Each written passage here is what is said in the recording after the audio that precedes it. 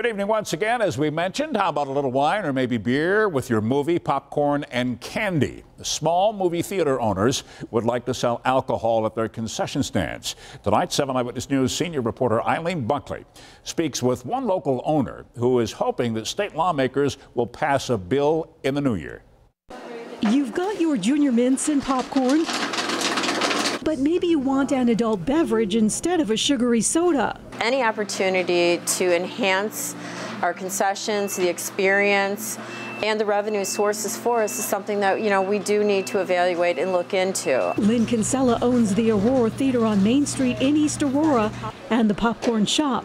An assembly bill now under review in the state Senate would expand the menu. If the bill were to pass in the state legislature, it would allow small theaters like this to apply for a state liquor license, adding wine, beer, and cider to their concessions. Being in the movie business today is more than just showing movies. You have to be remain competitive. You have to offer your customers an experience. Larger theater chains like the AMC in downtown Buffalo was granted a temporary liquor license, but it is also required to offer up to five menu items like a restaurant.